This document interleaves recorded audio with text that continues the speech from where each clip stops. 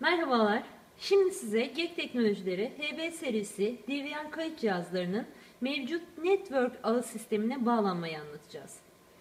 Cihazımız network'te bağlı değil ise altta görmüş olduğunuz network ağına bağlı olmadığına dair ikonu size gösterecektir. Network ağına bağlandığımız takdirde bu ikon kaybolup şu anda göreceğiniz gibi Evet, bu ikonumuz kayboldu. Bu cihazımızın network'e bağlı olduğunu gösterir. Şu anda kayıt cihazımızın giriş bölümünde password işleminde fabrika ayarları kısmındaki şifresini girip kayıt cihazımıza giriş yaptık. Buradan sağ tarafı tıkladığımızda ayarlar kısmından network ayarlarına giriş yaparak Otomatik IP al kısmını işaretledikten sonra kaydet butonuna tıklıyoruz. Kaydetme işlemimiz başladı. Burada görmüş olduğunuz IP kısmındaki değişikliği siz de göreceksiniz.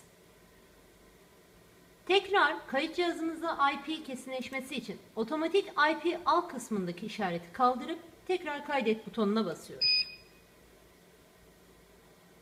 Evet, Bundan sonraki işlem için cihazınız artık network ağında.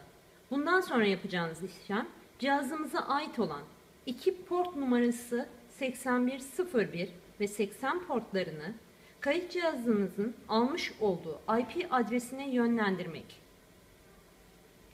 Buna da kısaca port açma diyoruz. Kayıt cihazlarımızda Android işletim sistemi olan telefon portu 15966'dır. Diğer telefonlar için 8101 yeterli.